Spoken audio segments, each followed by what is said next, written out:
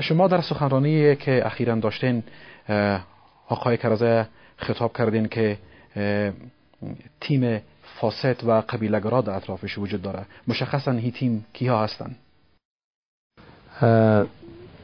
لازم نیست که من نام افراد ببرم. افراد اشخاص مهم نیست.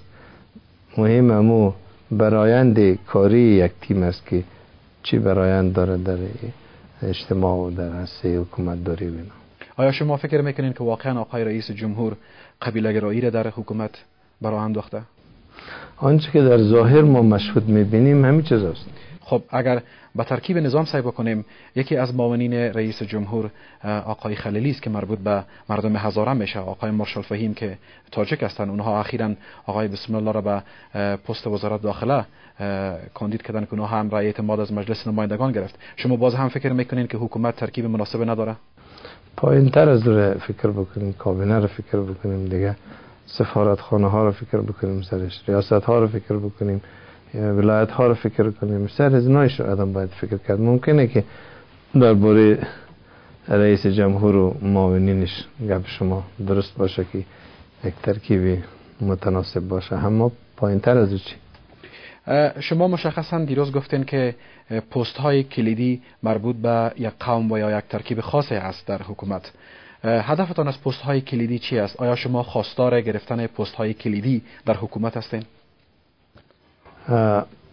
منظور متوازن بودن همی کابینه و نظام است که طوری باشه که تمامی اقوام افغانستان احساس مشارکت کنن و پست های کلیدی هم واضح هست بسیار زیاد پیچیده نیست یک فرمولی. یعنی هدفتان از وزارت دفاع داخله امنیت؟ مثل یک فرمولی بسیار پیچیده الجبر و ریاضی نیست که او را سرش زیاد فکر کنی. 24 وزارت خانه است. شما می‌دانید که وزارت های کلیدی کدام است و به دست کیا هست. خب ظاهرا وزارت های کلیدی وزارت داخله امنیت دفاع وزارت مالی اینها. هدف شما از این وزارت هاست؟ مسلما شما خوب فهمیدین.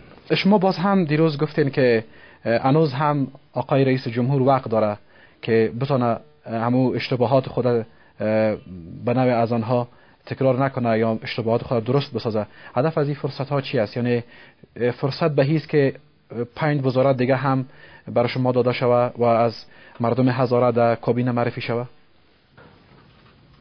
منظورم از این که آقای کرده فرصت داره است که اما ترکیبی که در ساختار حکومت ایجاد کرده این ترکیب تغییر بده و ترکیب متناسب بیاره. هزاره ها یک بخش عمده از مردم افغانستان است. در دفاع افغانستان اشتراک داشته. اولین کسانی که در مقابل اتحاد شوروی استاد شدن جامعه هزاره بود و تا آخرم هیچ سازشی با کمونیستا و اشغالگران نکرد. در دوران مقاومت هم ما و وطن دفاع کردیم و ما در دوران دموکراسی هم آرامترین مردمی بودن. مردم ما که هیچ نه جامعه جهانی کدام حرف داره سر ما نه خود حکومت.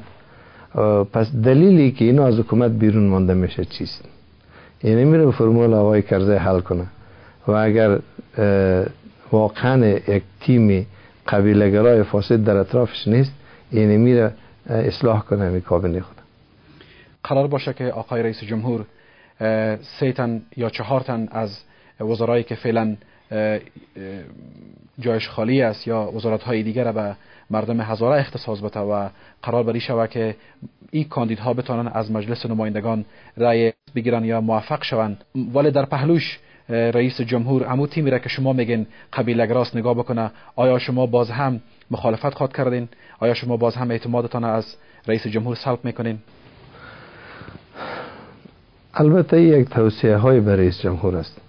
ما از رئیس جمهور اعتماد خود سلب کردیم و دیگه باور نداریم که آدم یک کار بکنه که به خیر مردم افغانستان باشه. یعنی جای هیچ نوع مذاکره در آینده میان شما و رئیس جمهور وجود نداره؟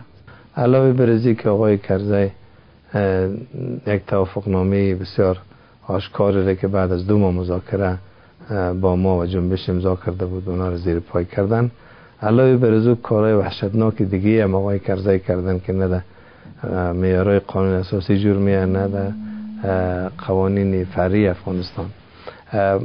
تقریبا راه به طور وضوح راه آقای کرزی از راه که در گذشته در چارچوب یک فیصل نامه بون و بعد از او در روشنایی از او قانون اساسی افغانستان تدوین شد راه خود از راه مردم افغانستان جدا کرده و او بسیار یعنی راه آشکاری که با تروریستا به طور یک جانبه مذاکره دارن و پشت پرده گپ می‌زنن و این برای مردم ما یک, یک سوال بسیار جدی خلق یعنی هدف شما از کارهای وحشتناک مذاکره با طالبان یا نزدیکی با طالبان یا ای که می‌خواد با طالبان صلح صورت بگیره؟ دیگه جنگ نباشه.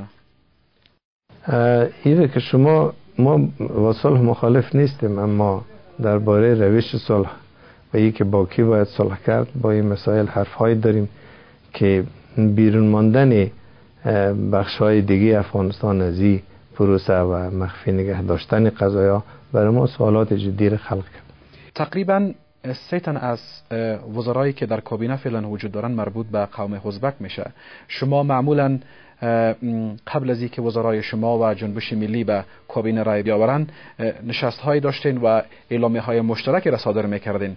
ولی در سخنرانی دیروز شما از جنبش ملی و از آقای دوستم کسی نبود یا حضور وسی نبود. آیا این به این معنا نیست که اعتلاف دیگر میان میان شما و آقای جنرال دوستم وجود نداره؟ یه خو یک گرد همایی بود که جامعه هزاره داشتن در وکلای هزاره در.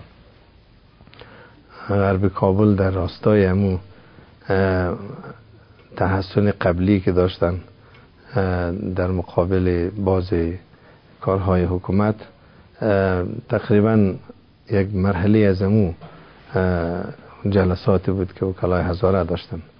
و او روزی هم می‌رسه که باز ما جنبش یک جا موضع خود اعلام کنیم